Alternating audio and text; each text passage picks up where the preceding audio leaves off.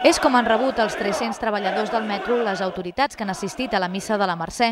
Coincidint amb la vaga de 24 hores han fet sentir el seu malestar per l'eliminació de la paga de Nadal, una mesura que s'aplica a tot el sector públic per ratllar el decret que va aprovar el govern espanyol.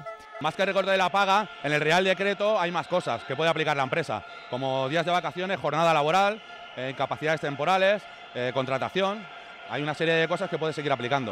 Des de l'Ajuntament insisteixen que no hi poden fer res per la retallada del sou, ja que la decisió arriba des de Madrid.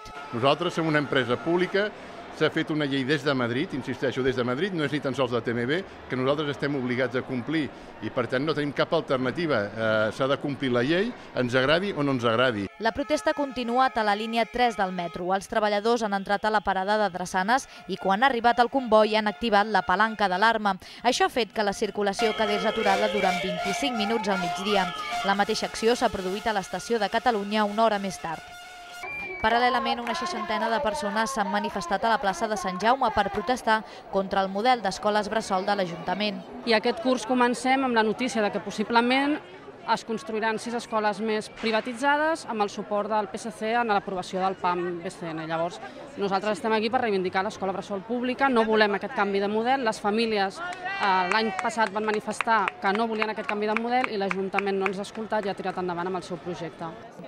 El col·lectiu té previst continuar les mobilitzacions durant les properes setmanes.